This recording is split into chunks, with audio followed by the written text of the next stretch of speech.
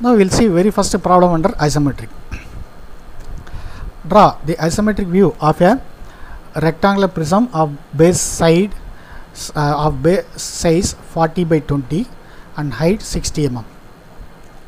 Also draw the isometric view of a rectangular pyramid of the same size. Now we will be uh, following the offset method when it comes to the pyramid we'll see it now. This is a question. Okay? Coinciding with isometric top plane draw the base. The base size is 20 by 40 so even this is we are i am going to draw the prism here drawing the pyramid here. Right? Simultaneously i am solving uh, two different solids. Okay? As if it is like uh, two different problems. Okay? Now complete this by uh, through D draw a line parallel to AB through B draw a line parallel to D. Thereby you can get the point C. Okay? So that is over.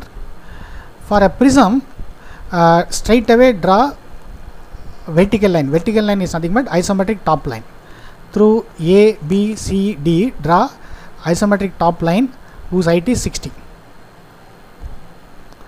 before that we will see the the thing for the isometric uh, uh, view of the pyramid. First of all mark the base point. This is the starting point of the axis for the pyramid. By drawing a two diagonal line you can get o1 that is the axis point meets here. Okay? Uh, through o1 draw o1o that is equal to height of the solid. Apex uh, height axis height in the case of pyramid uh, this is the vertical height of the solid in the case of prism. Okay? Through other points also draw isometric top line e height equal to 60 join 1 2 3 4 at the top. That completes the isometric view of the uh, prism.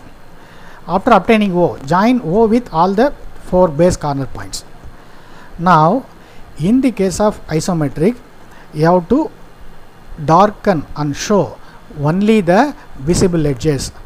Don't use the dashed line type. Don't show don't darken the hidden edges by drawing dash thick dashed line type.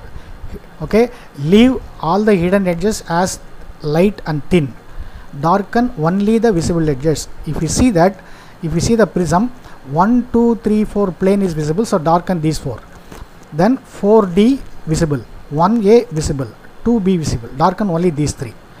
In the case of this pyramid o d slant edge o a slant edge o b slant edge and b a base edge a d a d base edge. Only these uh, five edges are visible darken only those.